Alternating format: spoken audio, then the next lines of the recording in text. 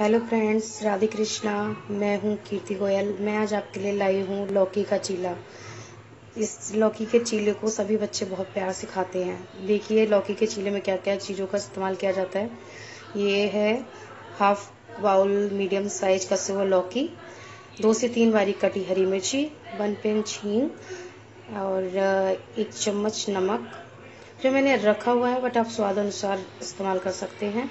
एक छोटा कटा हुआ प्याज हाफ़ बाउल बेसन। तो ये जो चीला बनेगा ना ये सभी बच्चों को बहुत ही पसंद है।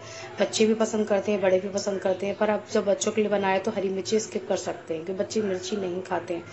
तो आइए मैं आपको दिखाती हूँ कि चीला कैसे बनाना है हमें। और ये है देसी घी, ये चीले को सेकने के लिए। पहले हम बेसन लेते हैं। पहले हम बेसन लेते हैं।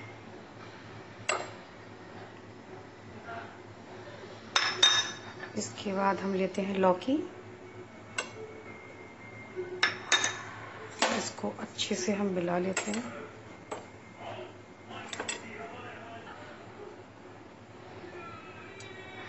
पानी इसमें, जिस हिसाब का चाहिए, उतना पानी लेना है हमें। ना ज़्यादा पतला रखना है, ना ज़्यादा गाढ़ा रखना है इसको। इसको हम अच्छे से फैट लेंगे।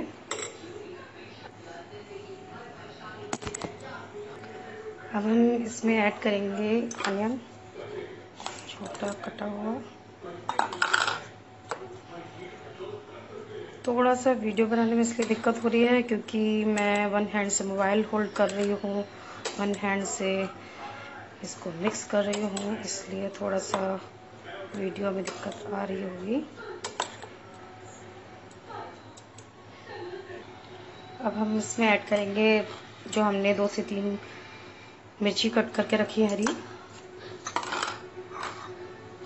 जो हमने हींग लिया है। और नमक। अपने स्वादानुसार आप डालिए। इसको अच्छे से मिक्स कर लेंगे। फ्रेंड्स आज थोड़ा बिज़ी थे हम, इसलिए वीडियो नहीं बना पाए। बट अभी वीडियो बना रहे हैं, क्योंकि अभी हम सोचे थे कि अपने लिए कुछ बनाएँ तो आपके साथ भी शेयर करें। लौकी का चीला, मुझे लगता है कि आपको पसंद आएगा, इसलिए मैंने सोचा कि मैं आपके साथ शेयर करूँ।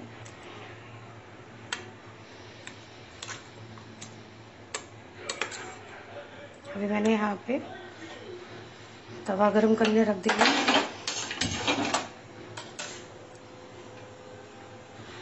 तवा गरम हो रहा है। तवा हमारा ऑलमोस्ट गरम हो चुका है। ये मैंने डोसा तवा का इस्तेमाल किया हुआ है बेचरा डोसा तवा, क्योंकि ये काफ़ी हद तक अच्छे से सेक देता है। अच्छे से एकदम बढ़िया चीला बनता है इस पर हल्का सा मैंने ऑयल फिर भी लगाया है। फ्लेवर भी अच्छा आता है साइन भी आता है। तो अब मैं इसके पर ये जो बैटर हम तैयार करा है चीले का, ये रखेंगे। इसको बढ़िया तरीके से इसको स्प्रेड कर देंगे, फैला देंगे हम इसको। ये अच्छे से बनेगा फिर। ये थोड़ा सा गाढ़ा होता है ना तो स्पून से नहीं हो पाता इतना अच्छे से।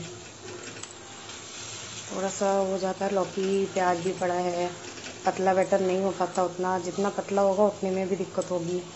तो ज़्यादा अच्छे से सीख नहीं पाएगा। टूटेगा वो। जितना ज़्यादा पतला होगा। सही है मतलब ज़्यादा मोटा नहीं है। और ज़्यादा पतला भी नहीं है। हम इसको ना मोटा बोल सकते हैं, ना पतला। तो हमें ऐसे ही इसको स्प्रेड कर देना है। अभी ये वन साइड से जब गोल्डन हो जाएगा थोड़ा सा उसके बाद हम इसको पलटेंगे। अब देख सकते हैं, ये थोड़ा सा सीखना स्टार्ट हो गया है। तो हम इसको चेक करते हैं, ये अभी पकना स्टार्ट हो गया है। देख सकते हैं आप, साइडों से उठने लगा है। बढ़िया सा सीख रहा है एकदम। और इस तभी की खासियत यह है कि यह बहुत अच्छे से चीला बना देता है। मतलब कोई प्रॉब्लम नहीं आती है हमें चीला बनाने में इससे। अब ये थोड़ा सा और सीखेगा, उसके बाद हम इसको पलट देंगे। और एक बात है फ्रेंड्स कि आपको अगर चीला पलटने में दिक्कत आती है कि आपका चीला पलटते समय टूट रहा है तो इसके लिए एक ट्रिक है कि आप इस चीले को पहले अच्छे से देख लीजिए कि इसका आपका पक गया है या नहीं, पलटने लायक हुआ है या नहीं। उसके बाद क्या करते हैं हम, इस चीले को इस तरीके से, ये जो हमने प्लेट पर इसको ले लिया है, अभी हमने इसको गैस पर रख दिया है। इसके बाद हम इस चीले को इस तरीके से, हमारा चीला एकदम रेडी है, हम इसको सर्व करते हैं। ये देखिए कितना बढ़िया चीला बना है। और ये हमने रखी है इसमें घर पर बनी हुई टमाटो एंड गार्लिक की चटनी। बहुत ही यम्मी बनती है ये। मैं इसकी रेसिपी आपको फिर वीडियो में शेयर करूँगी। बट अभी ये चीला बहुत ही अच्छा बन चुका है। बहुत ही यम्मी है। एकदम हॉट हो रहा है अभी तो।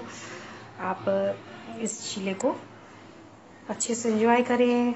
देखिए कितना प्यारा बना है। और हमारी वीडियो को सब्सक्राइब करें। लाइक करें कमेंट करें। जो भी बदलाव, या जो भी चीज़ें आपको पसंद आई हैं, उनके बारे में हमें कमेंट करके प्लीज़ बताइए। हम देखते हैं कि इसमें क्या चीज़ अच्छी लग रही है, क्या नहीं अच्छी लग रही है, क्या हमको उसमें चेंजेस करना है। वैसे ये जो मैंने चीला बनाया है सभी को बहुत अच्छा लगता है। तो आप प्लीज़ देखिए कि आपको कैसा लगा है। धन्यवाद। राधे कृष्ण।